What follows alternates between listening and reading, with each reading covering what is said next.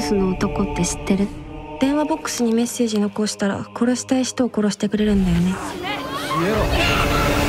あなたは人生が終わる時のことを想像したことがありますか？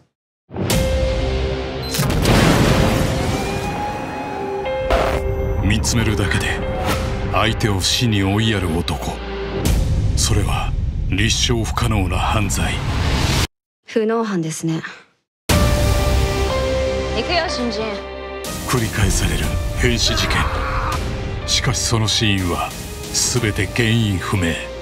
思い込みです。一種の洗脳。マインドコントロールです。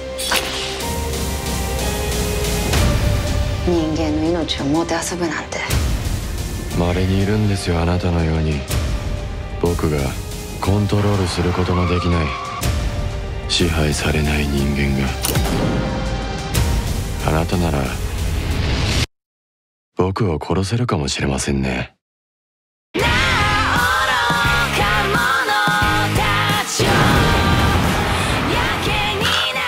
あんたの目的は何？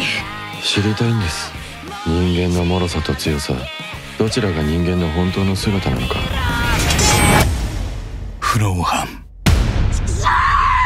愚かだね。人間は